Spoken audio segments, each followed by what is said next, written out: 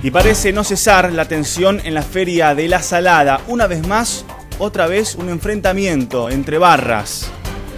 Se desplegó un amplio operativo de custodia en los alrededores de, una, de la feria de la Salada. Allí la gendarmería y la policía bonaerense custodiaban la zona.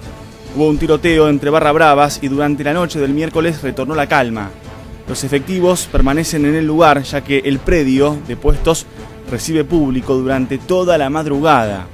El jefe de la policía bonaerense, Hugo Matkin, estuvo allí en el lugar coordinando la tarea de los efectivos y explicó, hicimos un accionar gradual y coherente para poder poner a disposición de la justicia a los delincuentes. Se está analizando con las cámaras y material fílmico de los medios a todas las personas que pudieron haber actuado para saber si hubo una maniobra preparatoria.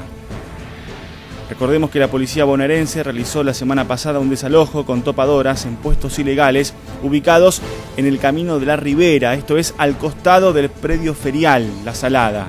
Esos puestos son manejados por cuatro bandas que se disputan el poder de la zona.